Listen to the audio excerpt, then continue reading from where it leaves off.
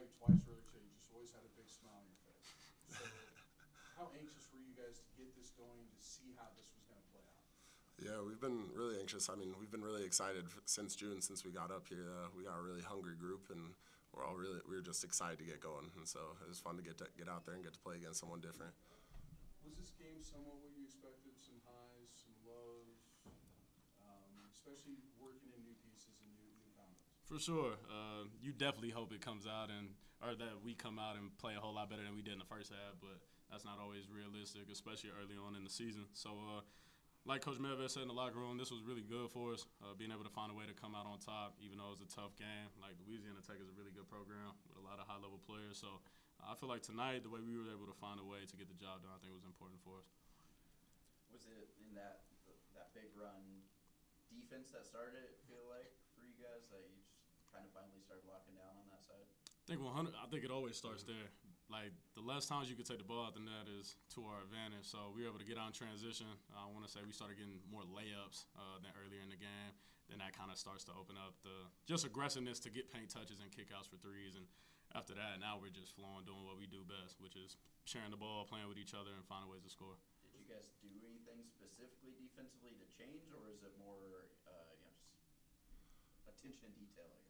I think it was more just attention to detail. We really had to lock in, kind of regroup and lock in, especially after that first half that we had. And they went on their little run at the beginning of the second half, but uh, we locked into what we needed to do and what Coach Medved was preaching. So.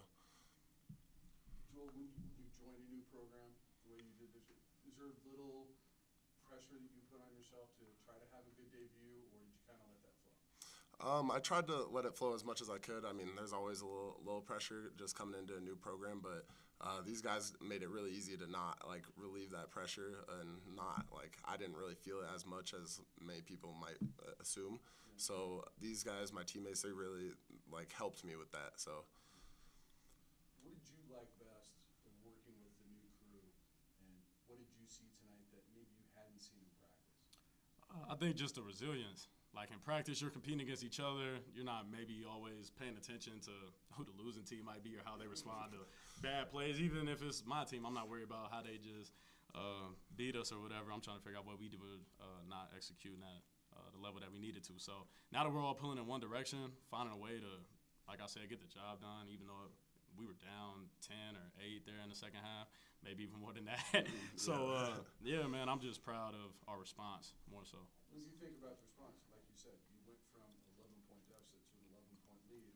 That's a pretty decent response. Yeah. With our group, like you said, there's so many new guys, it can be hard to trust. Like, especially in game one, we find ourselves in an adverse situation right out the gate. Like, we don't know how guys are going to respond and maybe how they reacted to things at their other programs or maybe in high school for some guys. So, the fact that we were able to all stay connected and we were preaching that at halftime, just stay together. It's a long game. Uh, these games early in the year, guys are hyped up, ready to go. So it's not always going to be a home run hit in the first 20 minutes. So you got to be ready to continue to battle, and I feel like we did that.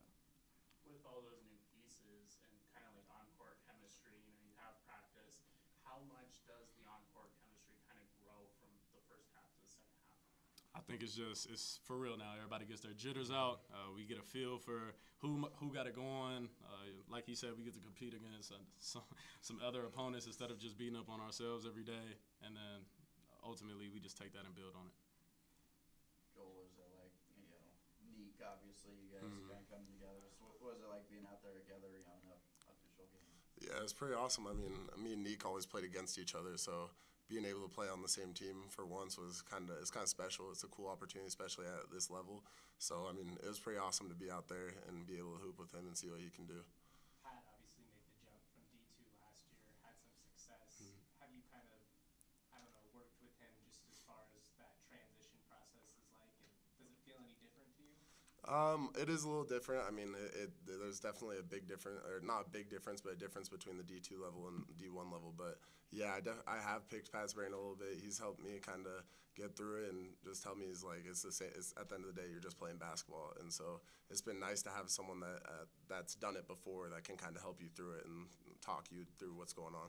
And obviously the, the victory is probably the, the biggest win to come out of this, Mm-hmm. but it probably has to feel good too to, to come out and make a debut like this, considering you're making the jump from D2 to D1. Yeah, absolutely. But at the end of the day, I can't do it without my teammates, can't do it without my coaches. So they put me in a good position tonight, and it just worked out well for me. Thanks, guys. Thank Appreciate you. you. Appreciate you.